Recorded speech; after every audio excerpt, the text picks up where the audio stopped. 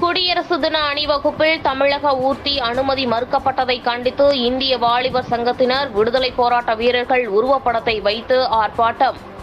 இந்த ஆண்டு குடியரசு தின அணிவகுப்பில் தமிழகத்தைச் சேர்ந்த சுதந்திர போராட்ட வீரர்கள் வஉசி வேலுநாச்சியார் பாரதியார் உள்ளிட்டோரின் உருவப்படங்கள் இருந்த அலங்கார ஊர்த்திக்கு ஒன்றிய அரசு அனுமதி மறுத்தது. இதற்கு பல்வேறு தரப்பினரும் கண்டனம் தெரிவித்து வருகின்றனர். இந்நிலையில் ஒன்றிய அரசின் செயலுக்கு கண்டனம் தெரிவிக்கும் வகையில் குடியரசு தினமான இன்று இந்திய ஜனநாயக வாலிபர் சங்கத்தினர் வஉசி வேலுநாச்சியார் பாரதியார் குயிலி மருது சகோதரர்கள் ஆகியோரின் உருவப்படங்களுடன் ரத ஊர்வலத்திற்கு ஏற்பாடு செய்தனர். அந்த ஊர்வலத்திற்கு காவல்துறை அனுமதி மறுத்த நிலையில் திருச்சி மத்திய பேருந்து நிலையம் பெரியார் சிலை அருகே ஒன்றிய அரசை கண்டித்து ஆர்ப்பாட்டத்தில் ஈடுபட்டனர்.